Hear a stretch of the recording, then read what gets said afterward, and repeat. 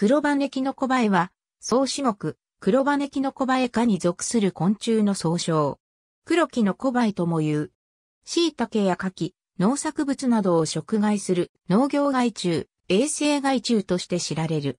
世界で約2400種が記録されているが、未記載種を含めると5000から1万種になると考えられている。記録されている種は、旧北区で約900種、2北区で約150種ほどであるが、実際には旧北区に、あと、約600種は未記載種がいると見込まれており、二北区や亜熱帯地域にも未知の種が多くいることが推測されている。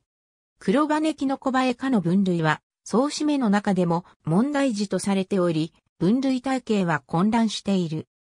本科は、ケバエ科目に属し、玉バエ科やキノコバエ科と禁煙とされているが、工事分類にも問題が残されており、また属の定義も不十分である。さらに赤や属といった貝分類についてもほとんど検討が進んでいない。黒羽キノコバエの死脈成虫は体長1から 6mm の種が多いが、稀に約 10mm になる種もいる。羽は透明、または褐色、黒色であり、稀に斑点や暗色の帯が生じる。湿った土中の有機物を餌に成長する。卵は普通産卵後4から7日で孵化する。幼虫は、朽木や樹皮の内部などで生活し、8から20日で4例となる。さなぎの期間は通常3から5日続き、その後孵化する。幼虫が集団で行進することが知られており、軍隊の行進を連想させることから、アーミーワームと呼ばれている。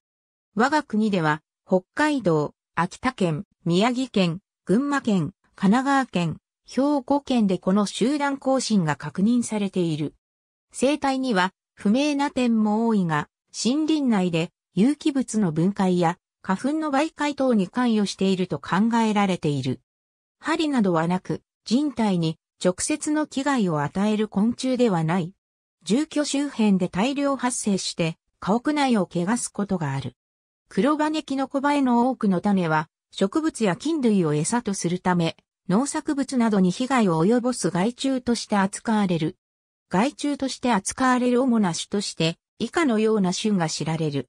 また、腐敗カビの媒介者としても知られている。ヨーロッパでは薬剤による防除が実施されている。ありがとうございます。